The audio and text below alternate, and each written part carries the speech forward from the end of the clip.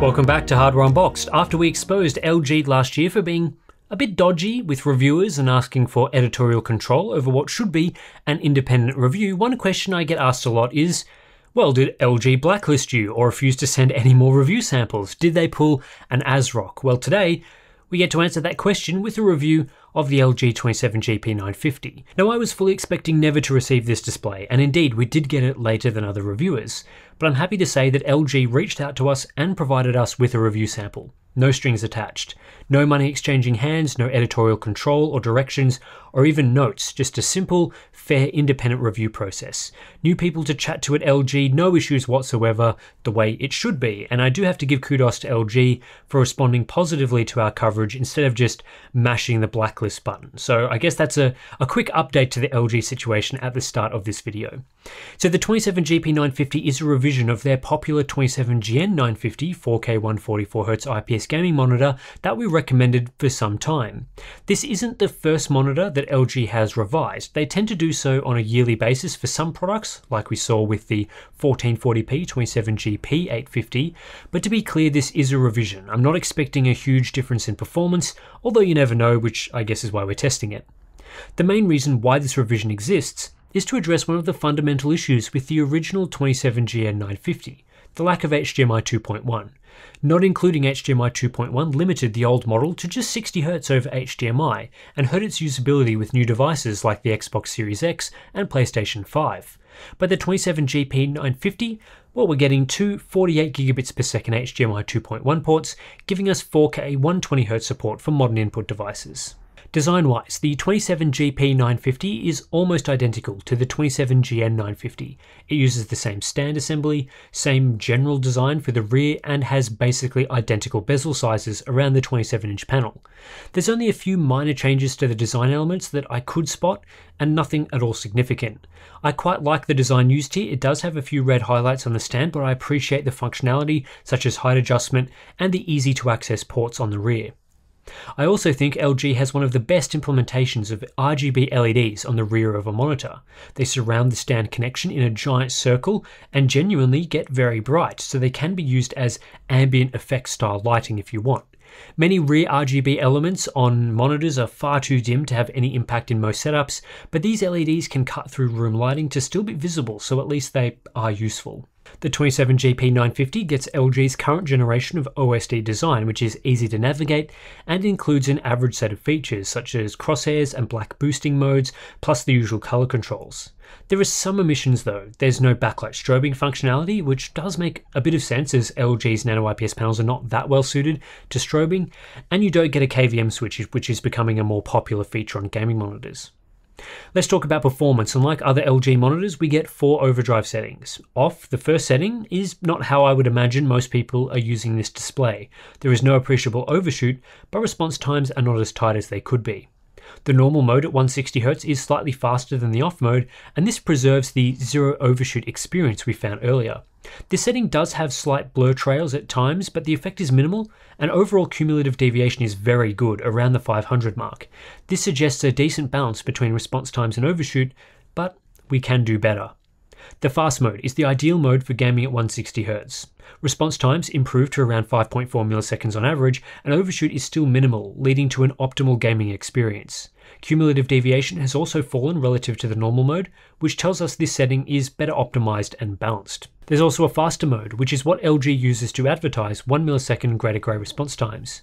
However, this mode is rife with overshoot, which is noticeable while gaming as a bright trail following moving objects. It's not as severe as the first generation of nano IPS panels, but I don't think this mode is ideal, especially compared to the fast mode, which offers the best experience. Performance across the refresh range is an interesting discussion. Using the fast mode, performance holds up pretty well at high refresh rates 120Hz and above. But when we get to 100Hz and below, overshoot starts to become more noticeable in practice, and in particular at the lower part of the refresh range. Inverse ghosting is visible in UFO tests and while gaming. We also see a fall off in cumulative deviation in response to this rise in overshoot, moving from 500-ish to the low 700 range. Meanwhile, the other viable option for variable refresh gaming is the normal mode. This mode is slower, shifting from a 5.5 millisecond to 8 millisecond response time, but overshoot is minimal across the entire range and inverse ghosting is not visible even at 60 Hz. Cumulative deviation is 15% worse in the normal mode at 160 Hz, but 30% better at 60 Hz. So this mode is better suited to lower refresh rate gaming. What I'm in two minds over is whether the 27GP950 counts as a single overdrive mode monitor. Clearly, normal is ideal for low refresh gaming, and fast is ideal for gaming above 120Hz. But I also think the differences between normal and fast at high refresh rates are pretty minimal in practice. Fast is only slightly better. So I'd recommend the normal overdrive setting for adaptive sync gaming and say this is a borderline single overdrive mode monitor. It would benefit from variable overdrive, but the normal mode is pretty decent. Compared to other monitors using the best overdrive mode for the highest refresh rate, the 27GP 950 performs reasonably well. It ends up 21% faster than the 27GN 950 at the expense of increased overshoot, and this gets it almost to the level of the new 28-inch 4K 144Hz panels we see in monitors like the Odyssey G7 S28 from Samsung. You can also see it matching the Eve Spectrum 4K's performance, which is a major competitor to the 27GP 950. This suggests LG have gone through and re-optimized the overdrive settings compared to the 27GN950, which is also what we saw with the 1440p models when comparing the 27GL850 to the newer 27GP850. However, this optimization has its drawbacks. While faster at 160Hz, the same mode is no longer viable for gaming across the entire refresh rate, so we see a regression in average performance but an improvement in overshoot. To me, these results show the 27GN950 as better for gaming in variable refresh mode, as is also the case with the Eve Spectrum 4K. Perhaps LG needed additional overdrive modes, or perhaps variable overdrive. While LG have swung the balance more from the speed side to the overshoot side with the new 27GP950, and that impacts its standings in the chart, overall the GP950 model is actually better on average in terms of cumulative deviation. It's not that much better than the 27GN 950, but it is slightly better. So to me, I think the response time experience overall isn't too different comparing the old model and the new model. They are different in their behavior, of course, and where the strengths and weaknesses lie, but the overall picture ends up very similar. This new LG monitor also ends up slightly better than the Eve Spectrum 4K and around the mark of other 4K 144Hz monitors like the M28U and G7 S28. But it's all a bit of a much of a muchness as the range we're talking about is between 520 and 580, a difference of just 12%.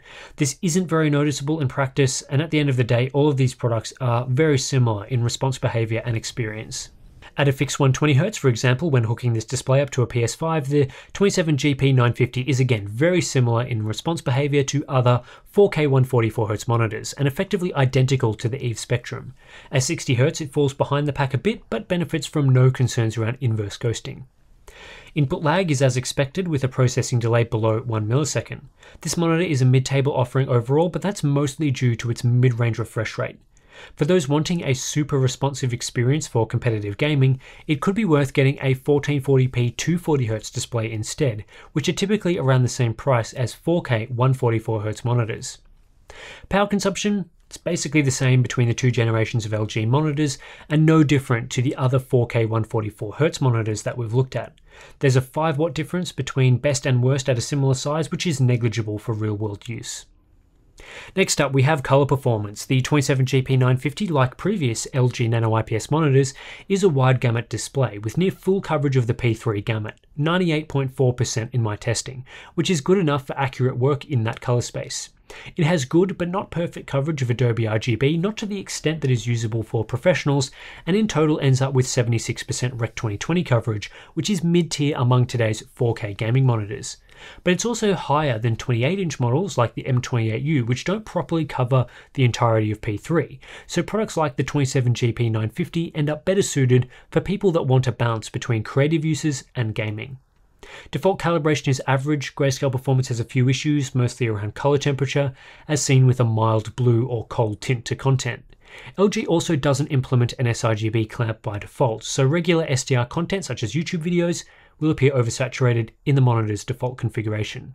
Compared to other displays, you can see this mid-table result for grayscale and color checker, and in grayscale in particular there is a regression in performance compared to the 27GN 950, which had particularly good results out of the box. That's disappointing, however there is an sRGB mode available for users. The sRGB mode has similar grayscale performance and similar issues with the blue tint. However, the sRGB gamut emulation is effective, and this reduces oversaturation to more natural levels when viewing SDR content. The accuracy in this mode overall is good without being great, and I think it's usable enough for most people, but it does suffer from locked controls like white balance and overdrive settings. The 27GP950 is highly optimizable through a full calibration. Like most monitors, I was able to significantly reduce delta E's using CalMan software across the board, and this applies to both sRGB and P3 gamuts, as the monitor is well suited to work in both of those areas. ICC profiles are available for our Patreon and Floatplane members. The 27GP950 has good maximum brightness, though fundamentally no change over the 27GN950. It can still do around 430 nits, which is what this panel is capable of. Minimum brightness is also basically the same, though unfortunately it doesn't get very dim. I'd have liked to see below 50 nits here for those using this display in dark rooms. The contrast ratio seen here is good for an IPS panel and identical to the EVE Spectrum 4K. This panel is not like 1440p nano IPS monitors which have a terrible contrast ratio. The 4K panels have always been at or above 1000 to 1 and this is no exception. The results are actually above average for an IPS. Where it falls down though is not having a high contrast ratio overall. It gets smashed by VA monitors like the Odyssey G7 which have much deeper blacks. Uniformity was very good with no major deviations to brightness across the panel. The color tone differed very slightly with my unit from the left side to the right side, but only an eagle eye viewer would notice something like that. LG panels generally have great uniformity. HDR performance is next, and this panel has poor HDR performance. The major issue here is the lack of proper local dimming hardware. Despite being Display HDR 600 certified, the 27GP950 has only 15 or perhaps 16, it is kind of hard to tell, edge lit dimming zones.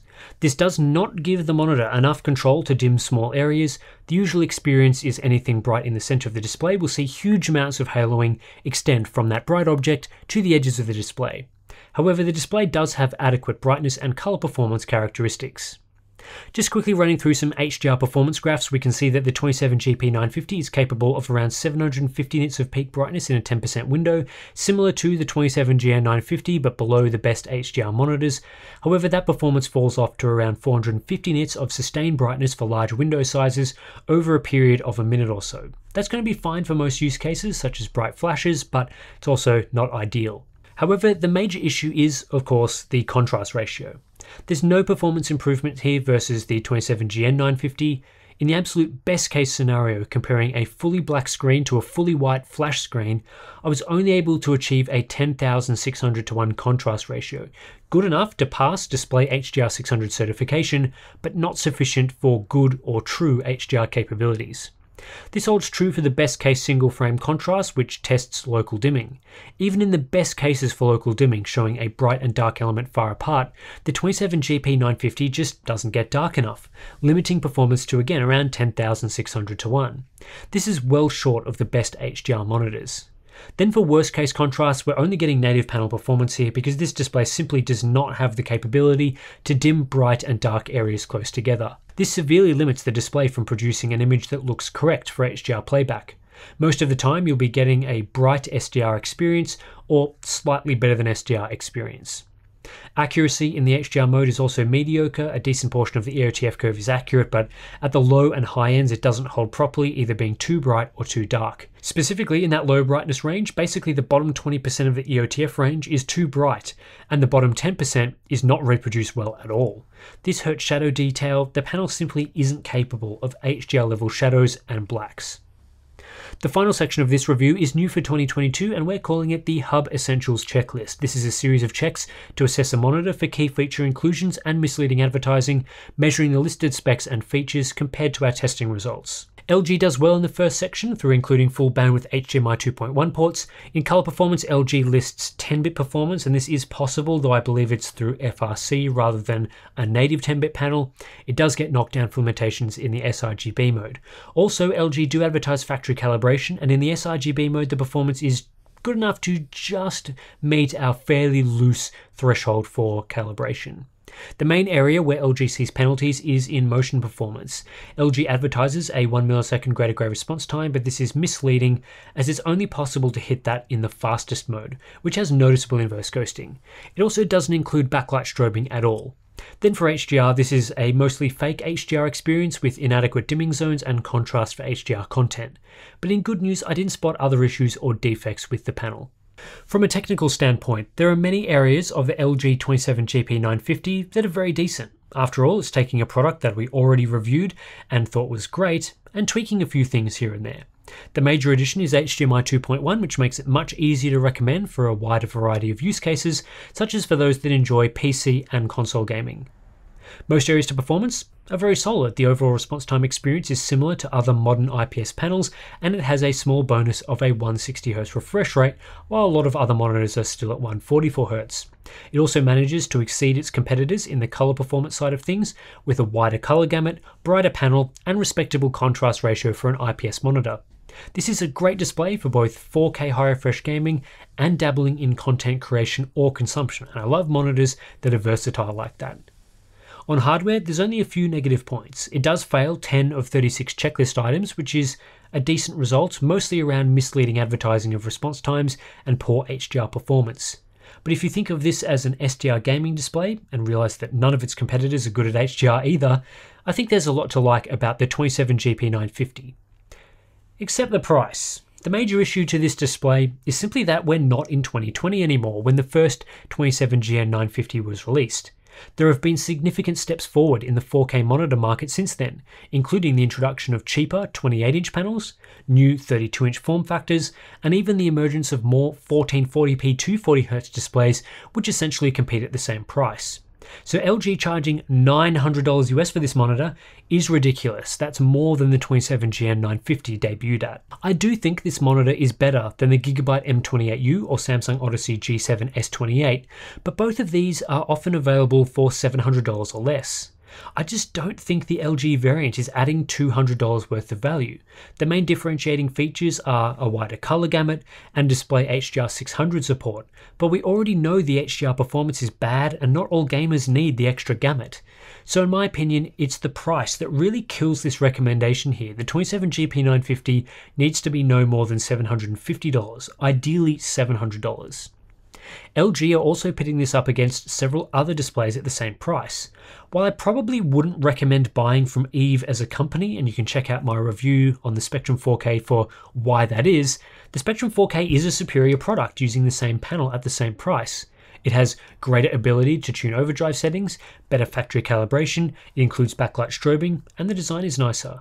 There's also the Samsung Odyssey G7 to consider, and other top end 1440p 240Hz monitors like the Asus PG279QM. So, after all of that, the LG 27GP950 ends up being a disappointment. LG either needed to deliver a sizable leap in performance or reduce the price, and they ended up doing neither. The monitor market is not standing still, and unfortunately, that isn't going to cut it in 2022. Anyway, that's it for this review of the LG 27GP950. If you're interested in buying one of these monitors or a similar product that we've talked about throughout this review, we do have links to check pricing in the description below. Down there, you'll also find links to our Patreon and Floatplane accounts if you want to support our independent monitor testing. We do buy a lot of monitors throughout the year to review, and that does come from the support of our Patreon members. You also get access to things like a Discord community, ICC profiles, all sorts of good stuff. So thanks for watching, and I'll catch you in the next one.